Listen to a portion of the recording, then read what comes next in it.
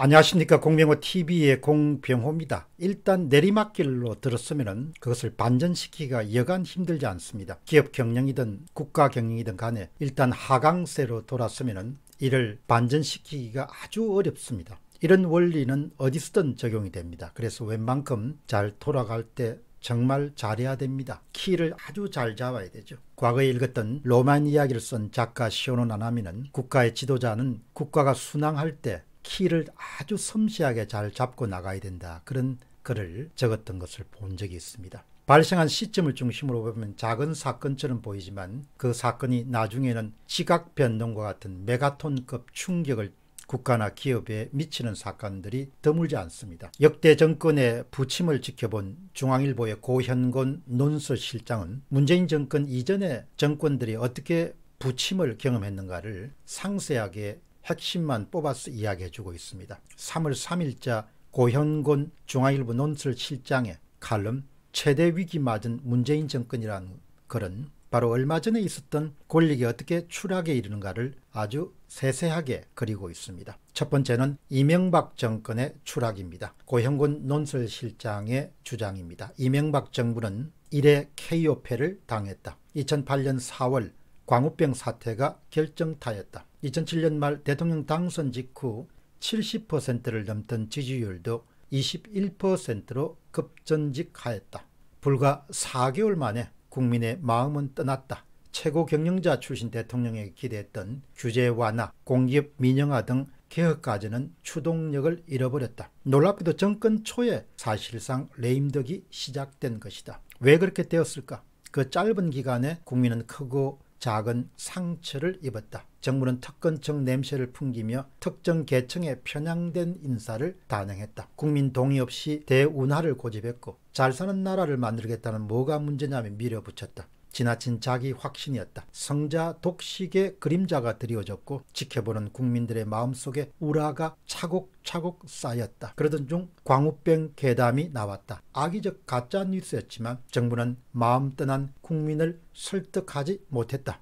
정부가 미국에 잘 보이기 위해 국민의 생명을 팔아 치웠다고 많은 사람이 생각했다. 차곡차곡 쌓인 우라가 어느 사이에 큼직한 의구심으로 자라나 있었다. 대통령은 국민의 아픔을 자신의 아픔으로 여길까라는 이 대통령은 이명박 대통령은 광우병 사태 두 달 지났어야 청와대 뒷산에 올라 자책했다고 사죄했다. 때를 놓친 뒤였다. 다음은 박근혜 정권의 추락입니다. 고형곤 실장 주장입니다. 박근혜 정부의 비극이 시작된 것은 2014년 4월 세월호 참사였다. 진도 팽목항에 내려간 박 대통령이 희생자 가족들과 만난 장면이 TV에 생중계됐다. 가족들은 체육관 바닥에서 울부짖고 있었다. 대통령은 단상 위에서 질문을 받았다. 단상 주변에는 덩치 큰 경호원들이 서 있었다. 그 거리만큼이나 대통령과 국민의 마음은 떨어져 있었다. 박 대통령이 체육관 바닥에서 머리를 풀어 헤치고 희생자 가족을 끌어안고 며칠이고 같이 울면서 진심으로 아픔을 같이 했으면 어떠했을까? 광화문 광장의 세월의 천막이 그렇게 오래 있지 않았을 것이다. 세월호 당일 대통령의 7시간 행적이 두고두고 논란이 되지도 않았을 것이다. 국민은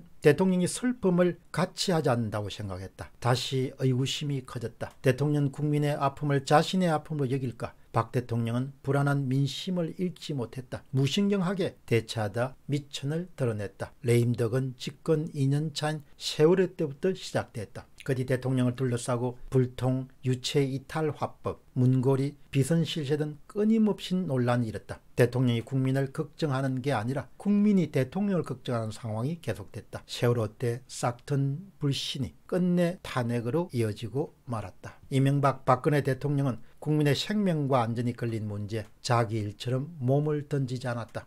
국민 신뢰를 잃고 정권 실패로 이어지고 말았다. 다음 질문은 다시 생각하는 권력의 몰락입니다. 국민 마음 읽기에 눈을 감는 순간부터 몰락이 시작됩니다. 지금 국민이라면 어떨까? 지금 국민은 어떻게 느낄까? 우리를 어떻게 바라보고 있을까? 그런 질문이 권력의 부패를 막을 수 있는 소금 같은 역할을 담당하게 됩니다. 문재인 정권은 앞서 두 정권의 몰락에서 아무런 교훈을 얻지 못한 것처럼 보입니다. 오히려 더 악화된 최악에 가깝습니다. 너희들이 뭐라 생각하든 뭐라 말하든 간에 우리는 옳고 우리는 우리 길을 가겠다. 이런 고집스러움이 국민들의 마음을 완전히 돌려놓았다는 사실을 아는지 모르는지 궁금합니다. 공감 능력이 없으면 어떻게 지도자가 그 자리를 지킬 수 있겠습니까? 이끄는 사람들의 입장에 서서 그 사람들의 마음을 읽어낼 수 있는 그런 공감 능력이 없으면 가정이든 회사든 나라든 지도자가 이끌어가기가 힘듭니다. 공감할 수 있는 능력이 있어야 되는 것이죠.